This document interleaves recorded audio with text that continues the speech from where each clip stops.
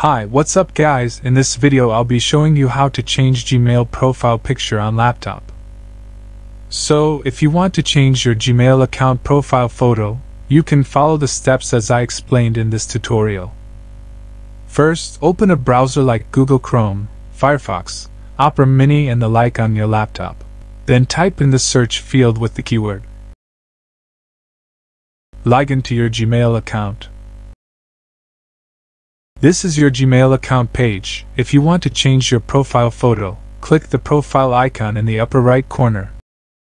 This is your Gmail account address. Click Manage your Google account. You will be redirected to the Google Account Management page. Then click the icon above the account name your Gmail. Add a profile picture.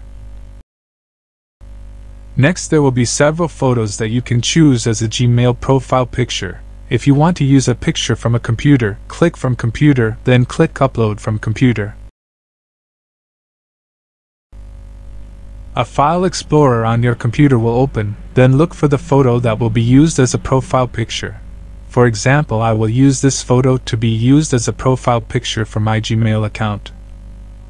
So just click on it and click open, then you can adjust the position and size of this image.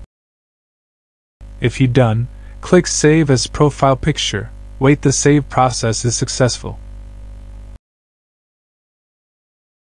Now your Gmail account profile picture has changed according to what you want.